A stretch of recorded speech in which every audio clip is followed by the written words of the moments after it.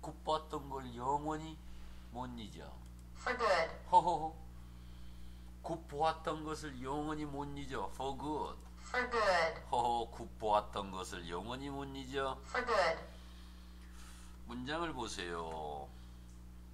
키워드가 뭐예요? 네, send지요.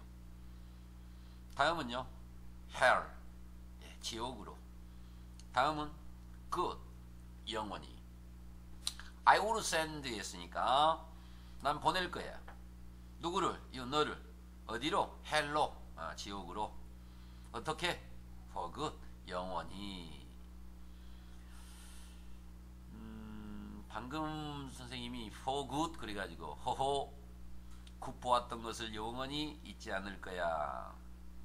말은 말로 정리한다 했죠. 여기서 중요한 것은 이게 지금 무슨 구인가? good이라고 하는 게 영원히지요. 영원히가 어느 말을 꾸몄어요? 보내다, 보내버릴 거다. 동사 꾸미니까 쓰리 부사구잖아요, 그죠? 자 밑에 보세요. 어, 무엇을 가로챘어요? 형 목적을요. 어떻게요? 전치사하게요. 네. 전치사 플러스 형용사 목적격이 오는 전형구 형태입니다.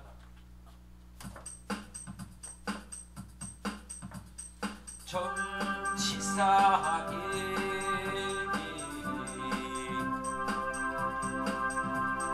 형 목적을 가로챘어요. 전치사하게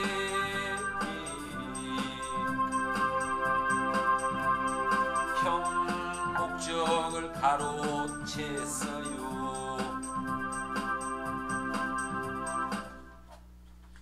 전치사하게 전치사 형 목적을 형용사 목적격 예.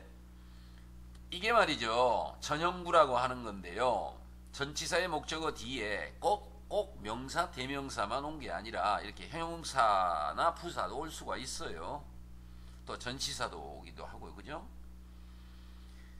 그런 게 중요한 건 아니고요. 시험 문제는 뭐로 나와요? 빚을 친 for good과 같은 용법 정도 수준으로 나오죠. 그러면 그거는 아하라 English의 비법으로 영원히가 뭘 꾸며요? 보내다, 보내버릴 거다. 동사 꾸몄으니까 부사구다. 그죠? 자, 그 밑에 보실래요? 우리는 전명국원, 전형국원, 전부국원 전치사 그 자체의 조사토시가 그 자체의 겉기지로 통하면 즉 해석이 되어지면 그 알아원 즉 명사구예요. 두 번째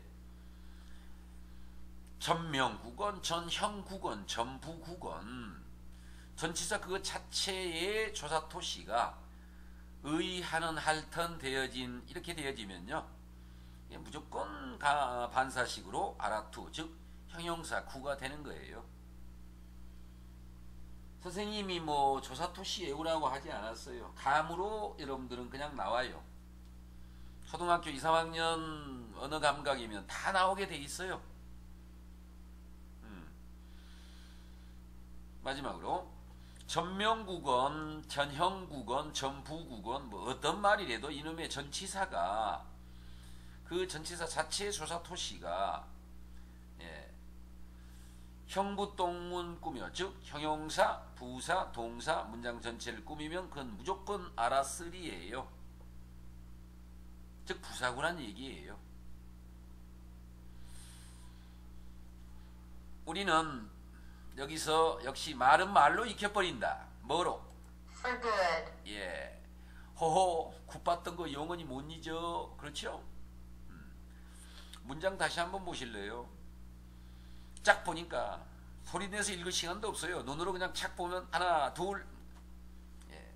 0.3초의 눈독을 들이기만 하면 직독, 직해, 직파가 동시에 가능해 버리죠.